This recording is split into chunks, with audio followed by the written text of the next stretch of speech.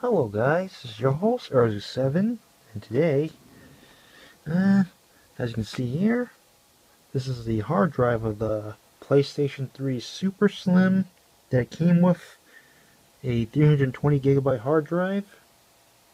Well, no, it's a 250 gig. And I replaced it, and I replaced the hard drive with a 240 gig solid state. As you can see inside here, there's no moving parts. Uh, there's no spinning noises. And I have an Ethernet cable plugged into it. Since the Wi-Fi is very slow.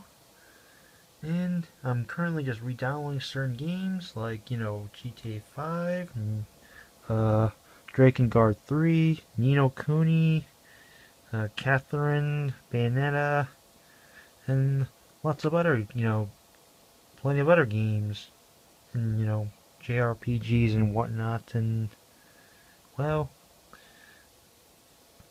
and you know, it's gonna take a it's gonna take a while. So, and as your host, Uruz Seven, have a happy um, enjoy the rest of the summer before it ends, and for all y'all. Have a great day. Catch you later.